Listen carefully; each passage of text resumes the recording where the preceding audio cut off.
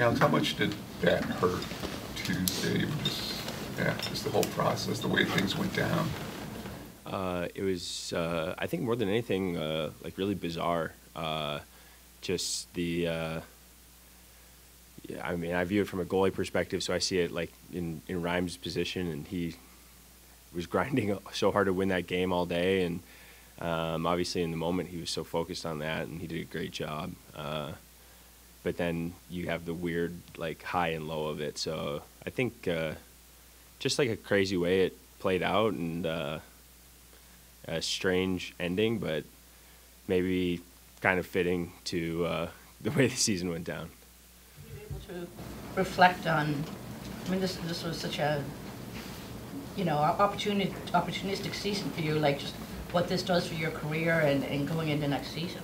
Uh, for me, it's just it just gave me a very clear view of um, uh, the things that uh, I need to work on and um, trying to find that uh, you know consistency over the full course of the season. It's a, it's a difficult thing and. Um, uh, it just gets me excited, honestly, and, and motivates me really more than anything um, to just be the best version of myself and uh, now kind of having a better understanding of maybe what, what that's going to take and what that looks like. It's the first year of your career you haven't played a game in the AHL. Is that something that you stop, you not celebrate that, but like, do you think about that at all? For sure, I appreciate that. I mean, I, I appreciate the Red Wings for putting uh, the confidence in me and, and the coaches. Um, I've never really had that uh, runway before. Um, and I never really thought that that would even be a possibility. I think for me, I feel, I feel pleased that I'm not, you know, too emotionally high about it. I, I have thought about that for sure, and um, I guess if you would have told me that two years ago, I probably would have thought I would have been more excited about it. But um, just the way the season ended and kind of how things went, how things went down, I I feel extremely motivated and and, and hungry. I, I think I feel more hungry now than I ever have been. So um, that's a good feeling. Like your own personal expectations for yourself on this? For sure. I mean, I think, uh, I think to last a long time in pro- professional hockey, you have to be hungry all the time, and that's something that you learn and you get better at. And so, for me, I, I guess I, I look at it as like if I would have played all year in the American League or played all year in the NHL, I think my hunger level would be the same. You just kind of teach yourself to stay hungry and be hungry. Um, but uh, yeah, like I said, I think now that I have an understanding and how much I learned this year, um, it's good. It's a good recipe and a dangerous recipe. It's it's good. This was the first time that you've had to sort of carry the load for an extended period at the NHL level. What did you learn from that, and what what do you take out of that moving forward? Yeah, there's I mean so many things. I mean, the day to day, it's it's not one thing. It's just a culmination of really everything, and um, it's really been the first time, honestly, that I've not even carrying the load, but I've just been at the NHL level. You know, I haven't been in the NHL for more than two or three weeks at a time, and so learning, uh, you know, the travel and and that that's so much different. The schedule, the every other day. You know, in, in the American League, you get so used to playing on the weekends, and you might play three games in three days: Friday, Saturday, Sunday. So it's more of like that sprint mentality rather than a more marathon mentality. So, um, just I feel, I feel like I just like I said, I learned a lot and. Um, just got to use it and, and make sure I use it wisely going forward or even like a training camp. I mean, did you think you were going to be that veteran insurance guy in Grand Rapids? Was that kind of like the belief, or what were you thinking, basically? Yeah, I, I, I, I, I mean, you always, you know, you shoot for the stars, and like you, you want to believe the best case scenario. Um, but yeah, realistically, I thought uh, I would probably be in Grand Rapids this year, um, and uh, given what happened last year, I knew they, you know, they might be a little bit more inclined to uh, to play me here. Um, and I also just kind of saw this group as up and coming, and um, you know, I, I, I know what I bring to the table, and I just felt like it would have been a good fit. Uh, uh, you know, bringing that consistency and the energy on a day-to-day basis. I think that's one of my strong suits, um, and so I just felt like this was the group uh, that was kind of moving in that direction. Um, and so after last year, I didn't really know what to expect moving forward, and and this year, uh, the way that it played out was crazy, and um, yeah, just happy I got to play a lot of games. You know, Thank you, Alex. Sorry.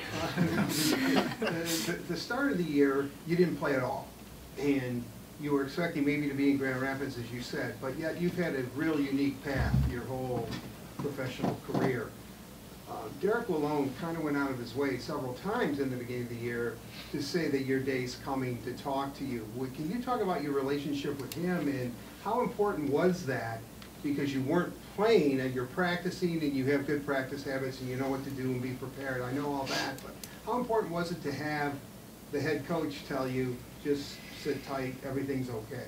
Yeah, um, it was it was difficult for sure at times, uh, if I'm being honest. Um, but that being said, I think uh, that's one thing that um, yeah, it, it was good. I mean, it was good. It was good for them to communicate that with me for sure. But uh, there were also times when I didn't maybe necessarily know the future, and I because you know you you hope for the best and and they're gonna say uh, keep keep grinding and everybody's gonna say but you just also don't know you know what I mean and and so um, you just have to believe that and trust that and um, there have been times in my career where like taxi squad season where you let go a little bit where it's like um, you don't ever feel like you're gonna play and so I think that just those experiences have helped me a lot and uh, I think one thing that I'm good at is now is just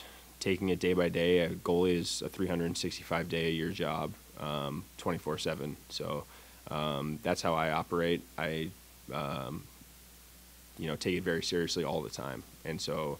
Um, yeah, there's just no downtime, and I think that, that, that helps me in those situations a lot. You ever think there was any time where you, you weren't gonna clear waivers, that, you know, your time in Detroit was going to be short, that if they tried to get you down, down to Grand Rapids just to play and all that, that, you know, you might be picked up by another club? Uh, it crossed my mind, you know, early on there for sure. Uh, uh, that being said, I, I kind of had the inclination that maybe that uh, the plan was to try to avoid that, um, and uh, and so they obviously made the decision to go three three guys there at the beginning of the year, and, and that kind of changed my perspective a little bit.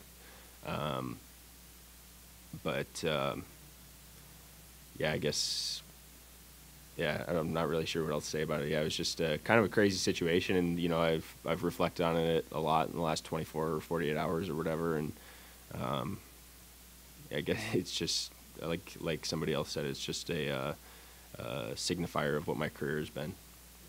Back of napkin you'd be a pretty good candidate for Worlds for Team USA. And I know, I think it was one year at Yale, you were a third string goalie. Like, have you thought about maybe having a chance to go there and maybe play that tournament? Yeah, it's crossed my mind. Um, you know, I think things are still pretty fresh here, just logistically, like in terms of what the next couple days looks like for me, and so that's kind of where I'm living at right now. But um, to get an opportunity to wear the USA jersey is something that I've not, like you said, I played in the World Champ.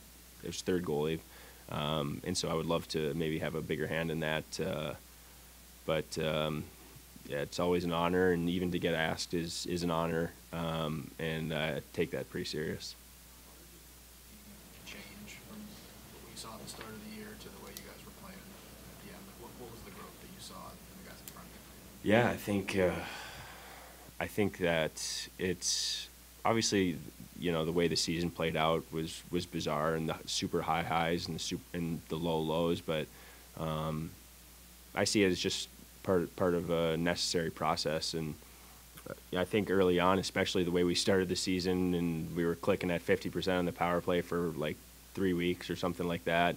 Um, uh, it's and then we were scoring like what averaging five and a half goals a game for like the first month or something, and how explosive offensively we were.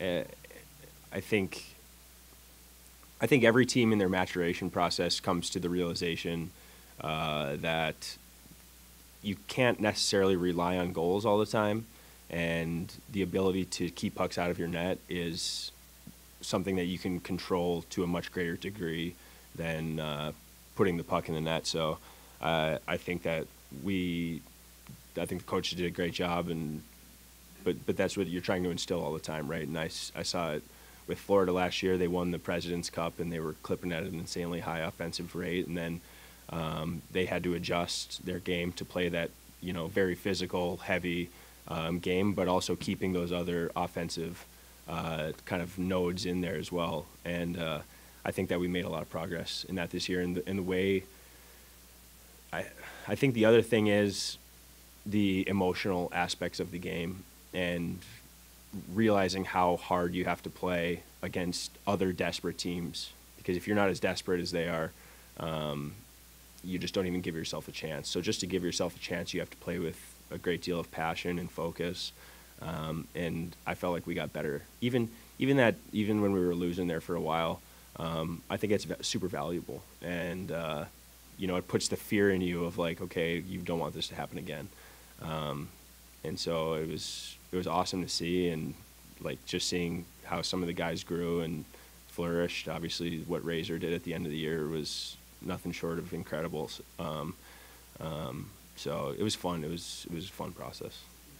hard play. Uh, I think Seider led the league in block shots this year, and I know there were several times where he'd block a shot and he'd just kind of limping to the bench. I mean, what's that like as a goalie when you see the sacrifice that those guys make? it, it's it it has not nearly as much to do with the actual shot blocks as it does for the mentality of your team, if that makes sense.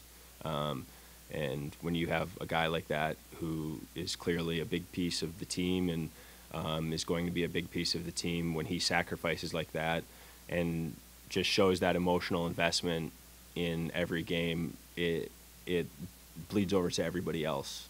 Um, and then all of a sudden, you know, it's contagious, and maybe another guy, um, you know, gives that extra, or maybe Alex Lyon dials it in that extra half, whatever percent more. You know, it's just it it's contagious amongst everybody, and uh, you need that. You just need that uh, to win games and down the stretch. And like I said, the ability to keep the puck out of your net is um, is crucial. And and I, I couldn't be more appreciative of what Mo did this year. And just from a goalie perspective, to have and it goes across the board. All the D men did a great job this year and sacrificed um, every game. So um, for me as a goalie, it, it means a lot, and um, I just hope that I can you know reciprocate that on a daily and game by game basis. navigate this increased workload this season and the experiences that you went through for your off-season? Are there some key components you're maybe focusing more on, or is it still continuing the same process that you talk about, you always emphasize? Yeah, for sure. I mean, you you learn and kind of understand um, how to deal with different situations. I think I think there's always room for improvement in in, in all facets, and um, I think if you are blind to the deficiencies that you have and um, you ignore them, it's just uh, it's not a good good way to go about things. So I think I always think about it as like, okay, I'm not going to be you know 50 or 100% better in any one category, but if you can just find a way to be 5% better in many categories, that's really how it adds up. And um, so that's kind of my mentality is um, I w- would love to be 5% better, better shape and, and w- more well conditioned and, and more prepared for training camp and uh, mentally and emotionally in the right spot and um, do the right things and build those habits. So, uh, uh, that's kind of the way that I've approached the last few summers, and it's and it's been pretty fruitful for me. So, um, yeah, just got to be super honest with yourself. Did you assess Simon Edvinsson in his stint up here? What did you, uh, what did you think of him? Crazy how good he was. Uh, it was a treat to play with him, and I think with guys like that, it's like if you don't notice them, that's the biggest compliment, and the the best sign for them is like he stepped in and, and was seamless with with how we were in the locker room and how we were on the ice, and that's a very difficult thing to do. And usually, you know, with young guys, it's kind of like you're you're have to be careful and try to maybe protect them a little bit. But with Simon, it was just natural, and um, like I've said before, he has an extremely bright future, um, along with a lot of the other young players here. So it's uh, nice for me because I know in ten years it's gonna be like, hey, I got to play with that guy. He's one of those guys for me. Good. Thank you. Thanks, Alex.